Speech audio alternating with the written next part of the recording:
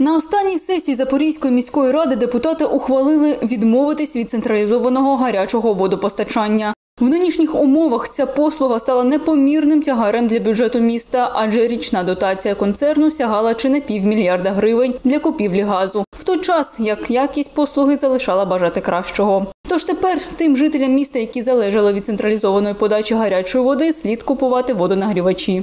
По-перше, ми бачимо, що сьогодні тенденція зростання ціни на газ дуже стрімка, і ми бачимо, що європейські ринки на хабах ціна станом на сьогодні вже майже 2,5 тисячі доларів. Це значні кошти. По-друге, місто Запоріжжя мало дуже е, цікаву допомогу у віді е, додаткової теплової енергії від підприємства Запоріжсталь.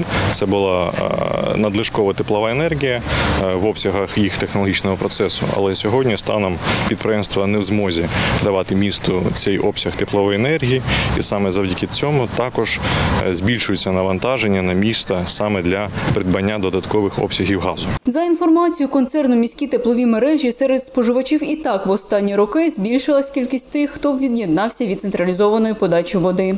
Багато будинків мають тупікові е, внутрібудинкові мережі гарячого водопостачання. І дійсно, якщо десь е, 50%, а інколи і більше по стояку мешканців не користуються централізованою послугою гарячого водопостачання, то це призводить до погіршення якості послуги.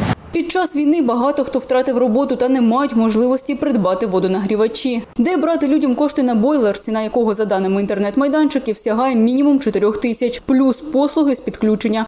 Що з цього приводу міркують запоріжці? Я живу, я доросла, там мене немає дітей і так далі. А, я розумію, що для дітей, для пенсіонерів це тяжкіша проблема, але я розумію, що в час війни то з цим можна трошки зачекати. Я в гуртожитку жила, у нас все одно до 9 поверху не доставала гаряча вода, бо все, все життя з бойлером. Як пенсіонерам я навіть не знаю. Мне теперь нужно покупать бойлер. Мені тепер потрібно купувати бойлер. Дуже погано, тим паче, що я вчасно сплачую комунальні послуги. В мене немає боргів. Дуже погано ставлюся до цього. Зараз народ небагато живе, щоб купувати за 100 доларів цей хоча б маленький бойлер. Для мене це проблема. Я живу в частном доме. но Я живу у приватному будинку, але моя донька у квартирі. Я купила їй водонагрівач, тому що моя дитина не могла помити голову, покупатися. А це все гігієна. Тому я вважаю, що місцева влада повинна зробити все, щоб у людей з'явилася гаряча вода. Думки різняться, однак факту відсутності централізованого гарячого водопостачання це не змінює.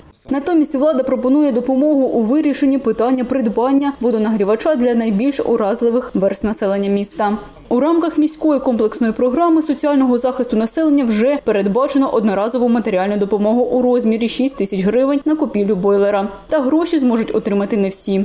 Перші в нас це отримувачі субсидій та пільг, у яких середньомісячний сукупний дохід на одного члена сім'ї е, становить не перевищує двох розмірів прожиткового мінімуму, встановленого на 1.01.22 року. Тобто це 4786 гривень. І друга це у нас е, окремі категорії громадян, які вже е, беруться без урахування доходів за особистими зверненнями, тобто вони вже звертаються до управління.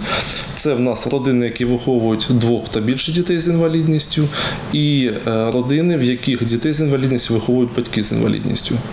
І також це особи, які отримують соціальну послугу доглядома в Запорізькому міському територіальному центрі соціального обслуговування. На цю програму передбачено понад 90 мільйонів гривень. Субсидіантам матеріальна допомога надаватиметься за списками, наданими концерном міські теплові мережі. Іншим категоріям пільговиків потрібно надати заяву до управління соціального захисту в своєму районі. До заяви додаються наступні документи: це довідка про реєстрацію місця проживання заявника, е, е, документ або його копія, що підтверджує відповідну категорію, копія паспорта громадянина України заявника, копія довідки про присвоєння ідентифікаційного номера заявника, ну і в разі необхідності інші документи. Матеріальну допомогу на водонагрівач вже отримали 30 родин. Виплати здійснюються через Ощадбанк або поштовим переказом, про що отримувачі будуть проінформовані смс-повідомленням. Звітувати про придбання водонагрівача до управління не потрібно.